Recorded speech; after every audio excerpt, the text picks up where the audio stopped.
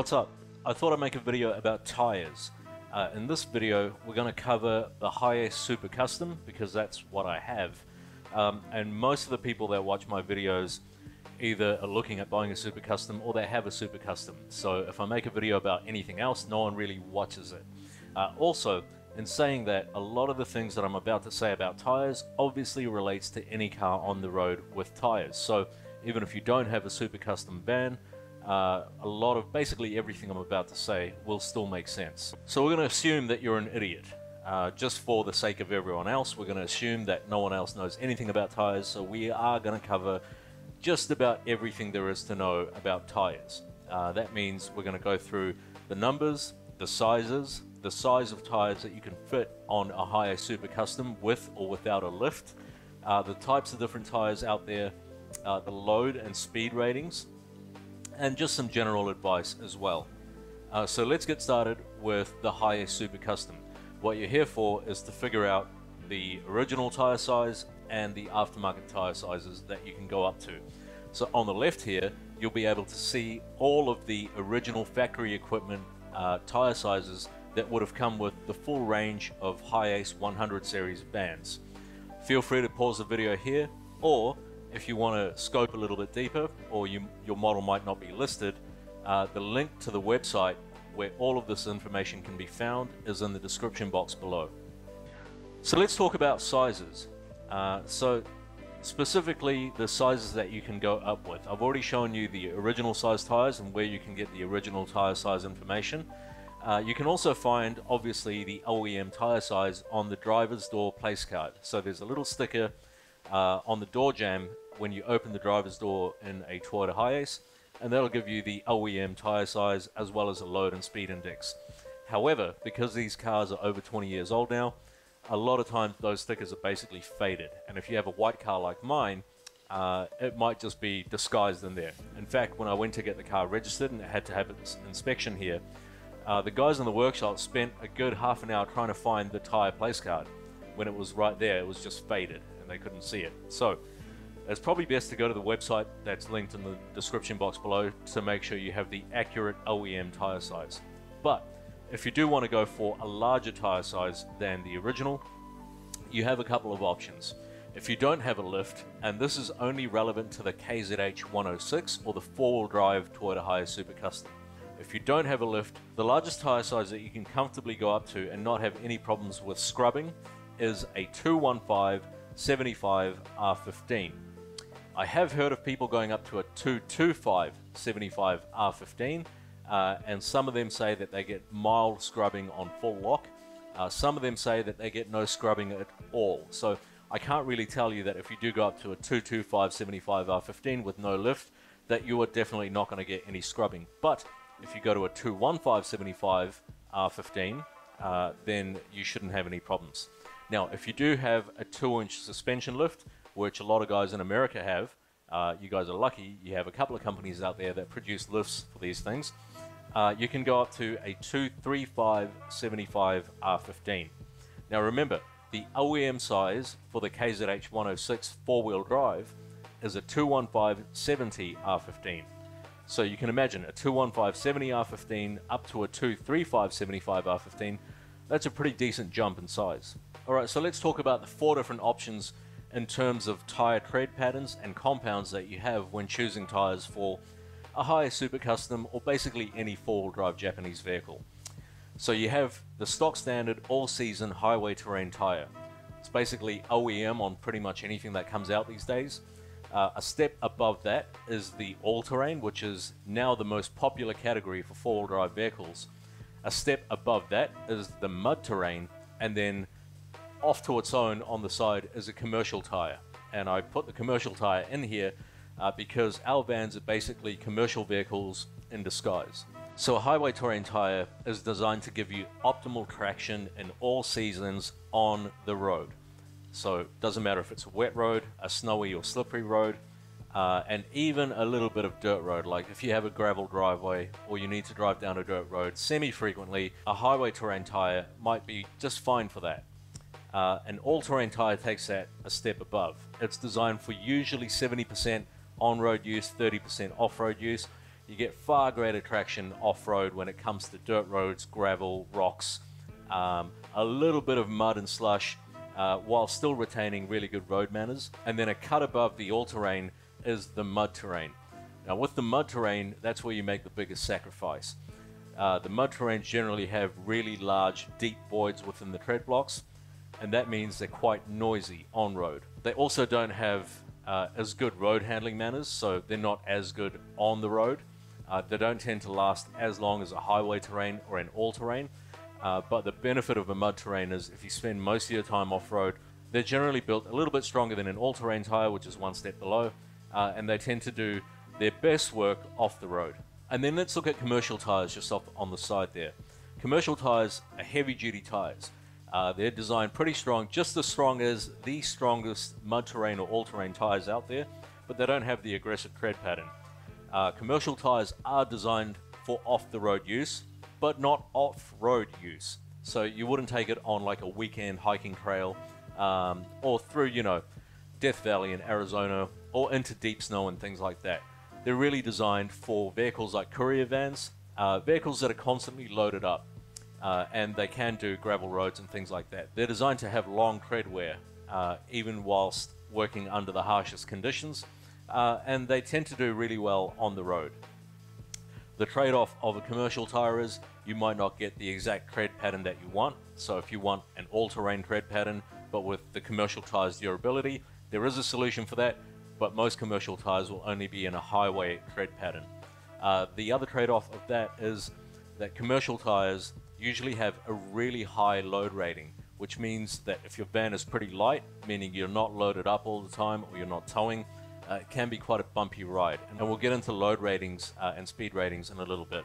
So the bread and butter for basically anyone with a four-wheel drive Hiace, uh, or any Japanese four-wheel drive, or any four-wheel drive for that matter, uh, is an all-terrain tire. That seems to be the biggest boom uh, in the past couple of years. Previous to the all-terrain taking its reign as the most popular, desirable tire at the moment, uh, it was mud-terrain tires. That's what everyone wanted to run. And nowadays, people have seen the benefits of having an on-road tire uh, as with a mixed capability of having off-road performance and durability. When it comes to picking an all-terrain tire, really there are two things that you need to be looking out for. P and LT. You can have two exact tires from the same manufacturer, the same model of tires and the same size, but they might be vastly different.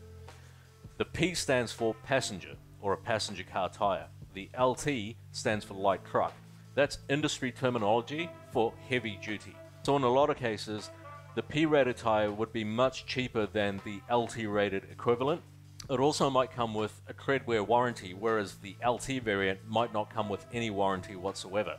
The difference between the P and the LT is its construction and durability.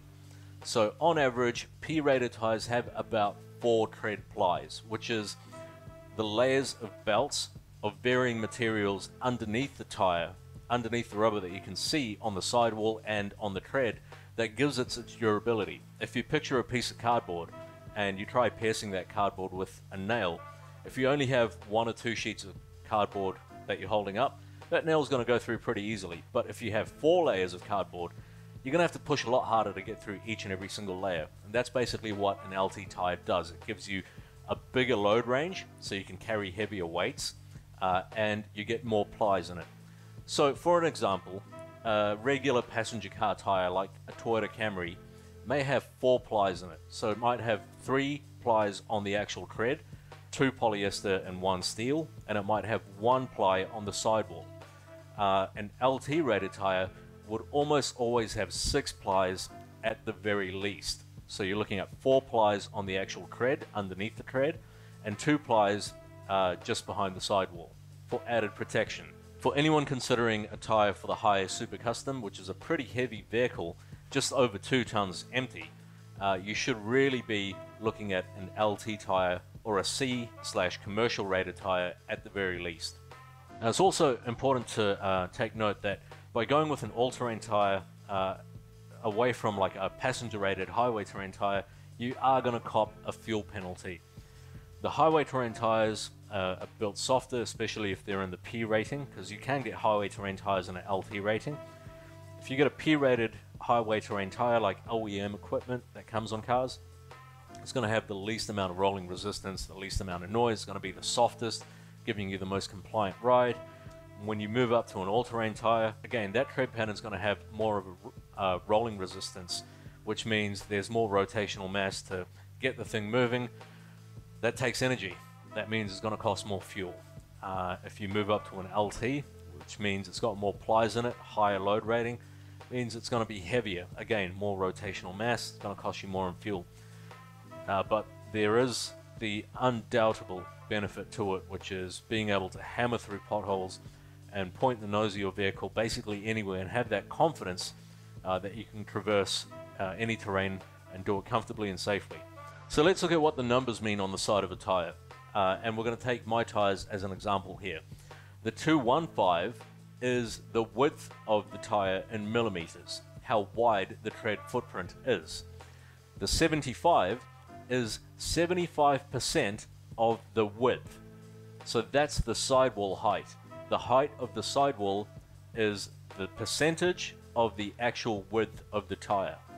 And then the last number, the 15, is the rim diameter. So it seems like a really confusing concept, but it happens to just work really well. 215 millimeters wide, 75% of 215 millimeters tall, and it's mounted on a 15 inch rim. Uh, the next thing to look at is load ratings and speed ratings. These are extremely important, especially when you have something as heavy and as dynamic as a van. So the load ratings indicate just how much load each tire is capable of carrying. Now, every vehicle comes out with a load rating that's listed for it that should be used as the bare minimum from factory. Uh, on the case of the Hiace Super Custom, the KZH 106, which we're looking at in Vision, uh, the load rating is 98. Here's the strange thing load ratings are usually in letters A, B, C, D, E, and F. Uh, however, sometimes load ratings can also come in numbers, and you need to look up that number to find the corresponding letter or vice versa. And it confuses people because speed ratings are also in alphabetical letters. So it's important not to get the two confused. So I've just looked up the original load rating of 98 for the Hiace KZH 106 and that equates to 750 kilograms of weight that each and every one tire can carry, uh, which is a fairly decent amount considering the van weighs just over 2 tons, let's say 2 tons flat. That gives us a good 1 ton of leeway uh, to load the van up and to account for any differences or abnormal situations where you might have it overloaded if you're moving house or something like that. Now, the tires that are on it at the moment have a 103 slash 106 load rating depending on the PSI of the tires or depending on the inflation pressure. The 106 translates to 950 kilograms of weight per tire. So that's 200 kilograms more per tire than the OEM load rating. Now, it's not as simple as going and finding the heaviest load rated tire that you possibly can. You would normally find uh, heavy duty all terrains to start at the load range D uh, and move up to a maximum of F. In fact, you shouldn't really see a load range greater than F anywhere. So a load range D tire is usually an 8 ply tire, which means you normally get 5 plies uh, just underneath the tread a combination of polyester, nylon, and steel, and then you get about three plies on the sidewall.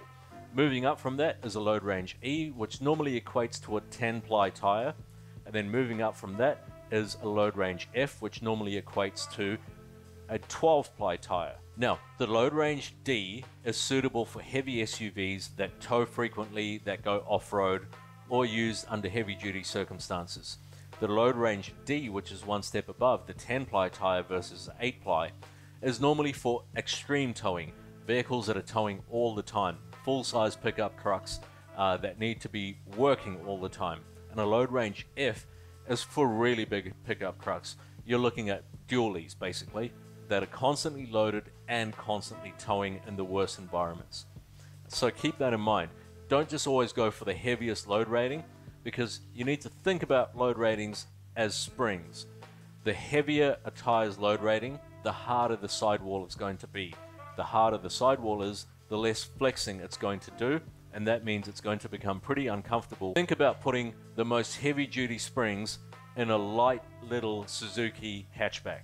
If you put too heavy a spring into that car, no matter what bump you go over, it's not going to compress. And that load, that shock, then gets transmitted throughout the rest of the car. And it can actually reduce or hurt the lifespan of certain components in that car if you go for a too high a load rated tire uh, when you're not adequately loaded. Okay, next up, let's look at speed ratings. So, speed ratings is basically the safe, constant speed that a tire is built to withstand. The faster you go, the hotter a tire gets. You can drive around a roundabout all day with the wheels locked and turning round and round and round and round, and that tire will not overheat even on the hottest day. But you drive for 15 minutes in summer down a highway, and that tire will be pretty darn hot. Hence, they always tell you to check your inflation pressures when the tire is cold. If you read on the side of a tire the maximum inflation pressure, it'll always say cold next to it, meaning the car hasn't been driving.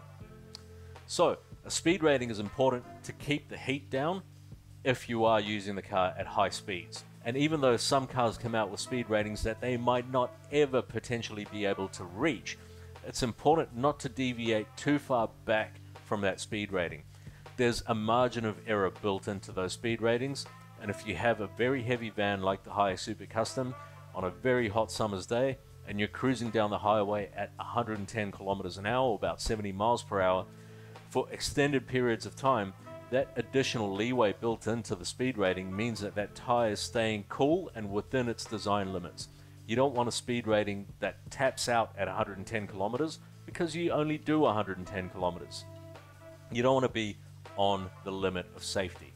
So you can absolutely go back a little bit from the maximum speed rating on the Hiace Super Custom. It's a speed rating of S, which is 180 kilometers an hour uh, or about 112 miles per hour. I know unless you're a bad guy in one of those movies that seems to be able to get one of these big rig trucks up to like 300 miles an hour, you're not going to have a problem with that. So you can always go down to like 160 kilometers an hour at your maximum, uh, which would be a speed rating of Q, uh, but I wouldn't go much lower than that. The good thing is, a lot of the most common size uh, all-terrain tires, or basically any tire in the 215-75 range or the 235-75 range, would have a pretty decent speed rating and load rating already built into it. So you don't really have to worry about it too much, but you should keep it on the back of your mind. It's very important that you choose at least an all-terrain light truck rated tire if you are planning on using your vehicle off-road. Doesn't matter if it's a nicely graded gravel road that you drive on every single day to get to your home or to go visit your parents every second weekend, or if you plan to do some weekend trails, you need a light truck all-terrain tire on something like the Hiace Super Custom because it's a heavy vehicle. The light truck construction means it'll have a higher inflation pressure than a P-rated tire. That higher inflation pressure means that the tire won't be squirming underneath the van and it won't overheat. Overheating is a big problem, not just for these Hiace Super Customs, but with all vehicles in general. And it's shocking just how many experts get it wrong. Obviously, when things get warm, they expand. When things get cold, they contract, like metal, like basically anything out there, and air is the same. So, in the winter, when it gets cold, you'll notice that your tires might be looking a little bit lower than usual because it's cold outside. The oxygen inside the tires have contracted. When it gets hot outside, those molecules expand. This is where things go really wrong, again, with tire experts, because even the experts that think they know what they're talking about get it wrong here. They'll link a couple of videos in the description box below from a few news channels that went out to get, you know, tidbits of news to fill up the evening news slots um, from a couple of tire retailers where they're talking about uh, tire blowouts in the summer in excessive heat. And most of these tire retailers say do not overinflate your tires in the summer because that's what causes blowouts. That's shocking because that is the exact opposite of what causes blowouts. A tire manufacturer would very rarely tell someone the actual burst pressure of an automotive car tire. Not even an LT rated tire or C rated tire, just a normal car tire. And it's usually in excess of 110 psi. Um, I'm I, even I'm fearful of saying this because I don't want anyone to go out there and put in 150 psi. but you're looking at about 150 to 210 psi before a tire actually bursts uh, off the rim on a, a passenger car or a four-wheel drive or a van or something like that, not a big truck. The theory behind tires bursting at high temperatures is uh, misleading because when you go out and like I'll put the description I'll put the links in the description box below. If you watch those videos you as an average person who sees that might think overinflation on a hot day will cause my tire to blow out. So people reduce their tire pressures. Again a lot of people don't check their tire pressures cold so they might drive for a little bit get out get some lunch walk past the tire and they might feel that it's really warm. And they think oh wow it's getting really hot. I'll reduce some pressure out of it because I watched this news clip from a tire expert who actually has a tire shop. Reduce some pressure out of the tires, it overheats on the next leg of their journey, and they're in trouble. Higher inflation pressures means less heat. Uh, less heat because there's less flex in the sidewall, just like bending a paperclip. At highway speeds, uh, a tire is rotating between 700 and 800 times per mile. So if your tire's not completely round at the bottom, if you've got underinflated pressures, there's a crease in the sidewall where it's flexing. And if you're doing highway speeds, that part of the sidewall doesn't get a chance to rest like a paperclip. You're just bending it back and forth, back and forth, back and forth. The tire actually cracks and devulcanizes and then it bursts. So, in hot temperatures, it's best to run higher inflation pressures, especially if you're heavily loaded and doing long distances uh, at high speeds. Um, but if you if you are heavily loaded and you normally run say 34 psi, and you've got a full trunk load of luggage and maybe two or three people in the car, or maybe you're towing something as well, uh, or you've got a camper conversion, you might want to bump that up from 34 psi up to maybe 38 psi. And remember, the more you drive in the heat, the higher the pressure is going to get inside the tire. It is perfectly safe for your tire uh, to go up to the maximum inflation pressure on the sidewall. It'll be written there while it's cold.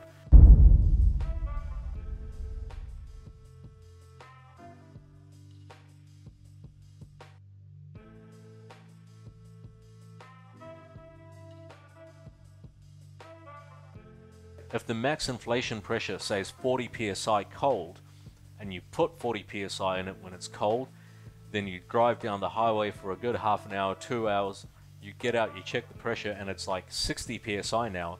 You don't need to freak out. The tire manufacturer knows that. Again, the burst pressure of that tire is likely triple that, so you don't need to freak out. Secondly, the next thing that can damage tires and have blowouts on highways on hot days is dry rot. So if your tires are extremely old and they've lost the silica compound, the oils that are manufactured into the tire to keep them soft and supple.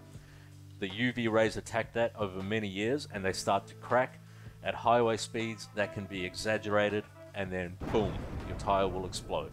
If your tires are in good condition and you keep the pressures up, depending on your vehicle and the climate that you're in, you should be fine. So some general advice. Don't trust tire retailers. Now, don't get me wrong, there are a lot of companies out there that take pride in what they do. They are industry experts. They know what's best for their customers, they give their customers options, they take pride in what they do. But there are a lot of tire retailers out there, and I've personal experience because I worked at one of them for one day and I didn't go back. They don't really care. It's 2022. An industry professional is different now from an industry expert. So, this was one of the largest tire franchise owned shops or franchisee shops within Australia, a very popular brand. The shop was doing about 20 sets of tires a day, and I learned that they know nothing about tires. They don't care about tires. They don't want to know about tires because they're not passionate about tires. They're not car enthusiasts.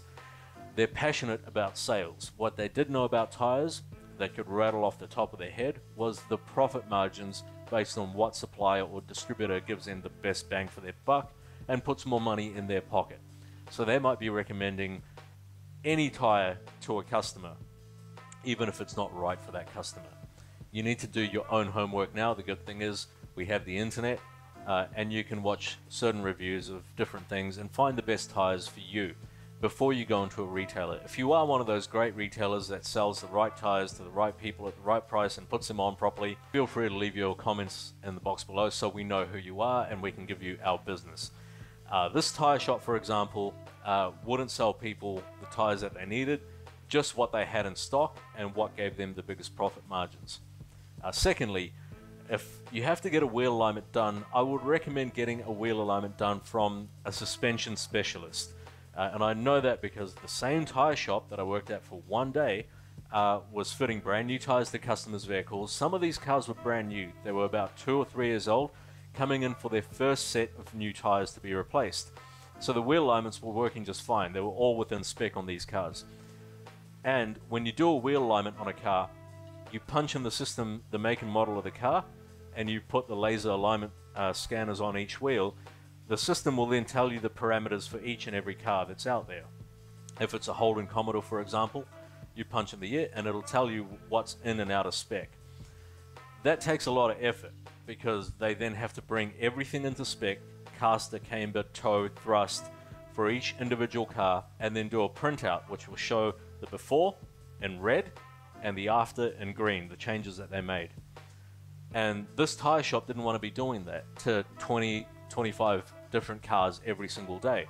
So what they did was they came up with their own template, which was all red until it was zeroed out. Zero thrust, zero toe, uh, zero caster, and uh, zero camber. And they basically went out and zeroed out every single car. I asked the owner, I was like, why are you doing this? Every car has a different wheel alignment setup. For example, a front wheel drive vehicle will usually have toe out because when it accelerates, the torque from the CV drive shafts will normally pull the tires in straight. Uh, and he said they don't have time to be spending uh, to do to spend an hour doing a wheel alignment on each and every customer's car. They zero everything out and off the customer goes. And in his mind, zeroing everything out was the right way to do it because they're not passionate about cars. They don't know about cars and they don't care. Had about five people call me on that day saying that their car's wandering all over the place. The shop owner's answer was to tell them that the tires are new, that they need to wear in, uh, and one guy who argued that he had a proper wheel alignment done and he just happened to be driving a mint condition old 90s Hilux. Uh, he had a wheel alignment done a month earlier and everything was fine. He got told that he had a buckled wheel uh, and that they couldn't do anything about it, so off he went to look for new wheels. Don't listen to the tire experts that say if you barely ever go off road, then just get a highway terrain tire. Because you can end up in a life threatening situation, especially if you live somewhere like here in Australia, by listening to that kind of advice. And everyone seems to dish out that advice. Um, you really need to do your own homework. If you go to a tire retailer or anyone uh, including myself, and you say, hey Nathan, I've got a Land Cruiser, uh, I've got two kids and my wife, we don't go off-road ever. The one question that I would ask you is, do you plan on going off-road ever? Because in a lot of these cases, you might plan to not go off-road ever. You might never plan to take your Hiace Super Custom off the paved roads. But you might, in the back of your mind, be planning that once-in-a-lifetime bucket list trip that'll take you out into the middle of absolute nowhere.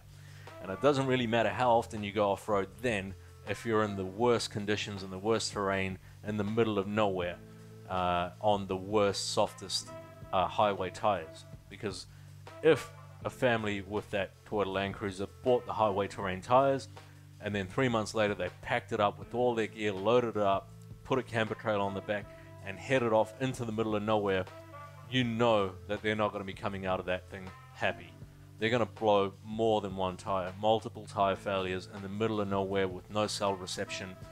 They're quickly going to go through their spare, which is most likely going to be a highway terrain OEM tire as well.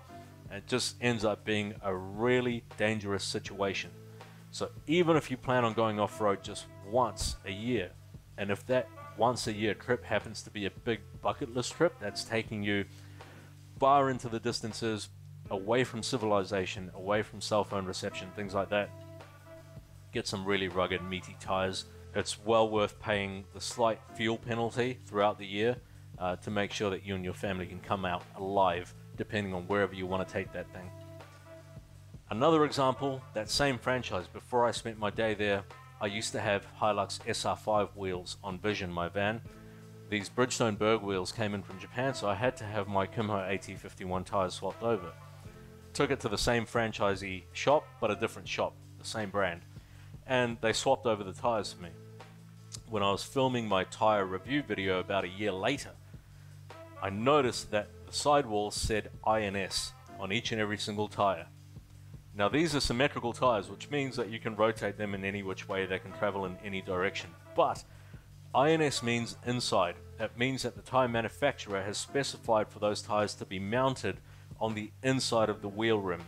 And it could be for a number of different, it could be for balancing. It might take less weights to balance it if that side is on the inside. It could be a different compound, a tread compound, which means they would have put a heavier wearing compound on the outside or inside edge. Who knows? But this very popular industry expert tire retailer got it wrong on all four tires. So, you need to know that when you go in to speak to an industry expert, you may not be speaking to an expert. You might be speaking to an industry professional. The industry professional is a salesman. He's not an expert. It's kind of like you going and seeing a doctor and he has the stethoscope and the white coat and the clinic and everything. But really, he's putting on a facade. He doesn't care about you and he knows nothing about medicine. He works for the pharmaceutical company and he's just going to try and sell you what he has to get rid of that day to make up his quota and his targets. Just keep that in the back of your mind. Do your homework before you go out looking for tires or you ask for anything from any of these tire shops. And if you are getting new tires, it might pay to say, hey, just give me the tires, balance them, fit them. I'll go get my wheel alignment done from my guy down the road or something. Maintenance and rotation. Uh, so it's important to take care of your tires, especially in a Hiace super custom just the dynamics of this van, the weight distribution, and how it likes to lean over a little bit uh, can really affect the tire wear. Usually it's the front left that cops a real beating. The rest, the other three, seem to do pretty well. Uh, but if you live in North America, you may have had your wheels aligned and the crown on your roads might lean towards the right hand side. So your front right or the driver's side uh, will be the one that wears the most. When it comes to rotating tires uh, on a four wheel drive, uh, and even rear-wheel drive Hiace vans, provided your tires are symmetrical, which means they have the same tread pattern on the outside as the inside, uh, and the middle doesn't change, and you can change it around any direction, put it anywhere on the car that you want. Uh, you should really be moving the rear tires forward and then moving the front tires back, but while the front tires are coming back, they cross over. So the front left will go to the right rear, the right front will go to the left rear, and then the right rear and the left rear will just go straight forwards. That also means that each tire gets to spend uh, a decent amount of time at every position on the car, and you should have dead even tire wear. Uh, tire rotation mileage and time frames uh, depends on how you treat your car, uh, what sort of load capacity you have, and what you're carrying, and the type of tires that you have. Uh, in general, I found that when tires are new, they need to be rotated more frequently because the tread compounds are quite soft when they're new. Every tire will get harder and harder and harder as it ages, and that means it starts wearing a little bit less. It becomes a little bit hardier uh, as it ages. And so initially, I would say rotate your tires every 5,000 kilometers for the first 10, 15,000 kilometers. After that, you should be alright going every 10,000 kilometers. Um, or it's just best practice to do it at least every time you service the car. It's all about tyre lifespan. Tyres that don't wear out completely uh, usually have a best before date. It's not stamped on the sidewall or anything like that, it's just best practice. And the best by date is usually between 6 to 10 years. Uh, ideally, you wouldn't go past 10 years old. The reason for that is rubber gets attacked by the UV light, the different heat cycles, the cold, you have brine and salt on the roads, mud and slush, maybe you drive it on the beach, um, and all of these things have a combined impact on the tires. The most important thing is there's oils and silicas. It's Yokohama who actually puts orange oil into the tire compounds that they make. Um, and it keeps the tires moist basically. It keeps them looking nice and black, uh, especially throughout heat cycles as the tire heats up in summer rolling down the highway. Um, it basically oozes out all of these different oils and keeps them soft. And as tires age and as they go through all these different chemicals and different scenarios, um, and then get attacked by the UV light, they tend to dry out and hence you get dry rot. Um, and dry rot basically means that the tire gets so dry, uh, like old leather that's just been left outside, begins to crack and split. Uh, and once the tire starts to crack and split, it becomes unsafe. Um, but you know, if a tire is kept indoors, if it's very very rarely used on that car and it's kept clean, it doesn't drive on salt and it doesn't go on the beach and it doesn't get cut up off road. In a lot of cases, that tire is probably um, the example that will make it past 10 years. You also have to realize that uh, little screws and things like that that go into the tires and you may have had re uh, repaired could have gone through the steel belt in the tires. And over the years um, the steel belts inside could rust out. And from the outside you might have really good tread um, but on the inside it could be falling apart. And you don't want to find out with your family in the car on your summer break doing 110 kilometers an hour uh, around a corner. So bear in mind how do you know how old your tires are stamped on the sidewall there's a four digit code if it's less than four digits you need new tires because that's the old system that's really old now already so if you've only got three digits um, it's right next to the DOT or Department of Transportation code um, and it looks like this. Uh, so if you've got three digits, your tires are already too old. But essentially, the four digits mean uh, the week and the year uh, that the tire was built. So in the case of Vision, the first two numbers are the week, uh, and the last two numbers are the year that the tires were built. And I can start counting from there on. If I don't end up wearing these tires out within the next seven or eight years, um, I really need to start shopping for some new tires. So it's all good and well for me to sit here and share my knowledge with you and my passion for cars, which is basically everything. I do obsess about everything. I love cars. I love every type of car out there. Um, I thought I'd make some recommendations for you, uh, depending on different budgets um, and different types of tires that I can recommend within the all-terrain category. Um, so, for the budget-orientated, the Kumho AT51, which is on Vision at the moment, and the Kumho AT52s. The AT51s are more of an aggressive all-terrain pattern. You can uh, put them down in the same sort of aggressiveness and durability uh, as the Toyo Open Country 2s, which are now replaced by the Open Country AT3s. Kumho AT52s are more of an OEM style all-terrain tire. They're less aggressive, uh, they should be much quieter on the road, not that the AT51s are noisy.